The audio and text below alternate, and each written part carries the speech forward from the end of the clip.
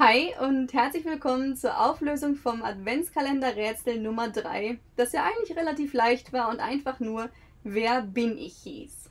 Und die Frage war so leicht zu verstehen, dass es auf jeden Fall auch ein gutes Grundschulkinderrätsel war, aber so einfach zu beantworten war sie vielleicht nicht. Und der Trick an der Sache ist einfach, die Monate mal auszuschreiben.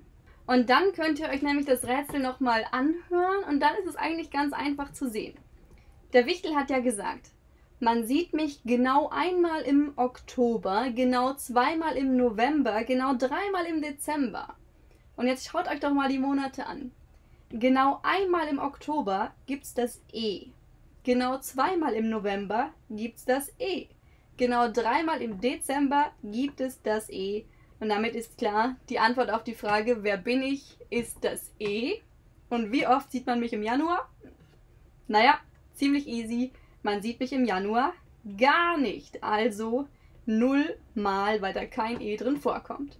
Und da sieht man mal wieder, ganz schön an diesem Rätsel, manchmal muss man mit Absicht nicht so kompliziert denken. Und das können Kinder super gut, wenn ihr denen das Rätsel zeigt, Grundschulkindern vor allem, die sich gerade mit Buchstaben beschäftigen und so, die werden das innerhalb von 30 Sekunden lösen. Versprochen. Schön auf jeden Fall, dass ihr wieder dabei wart. Wenn ihr Lust habt auf weitere Rätsel, jeden Tag gibt es hier eins im Rätsel-Adventskalender. Und dann könnten wir uns, wenn ihr Bock habt, also einfach morgen wieder zum Rätseln treffen. Bis dahin wünsche ich euch eine schöne Adventszeit und wenn ihr Lust habt, ich würde mich freuen, sehen wir uns bald wieder. Ciao!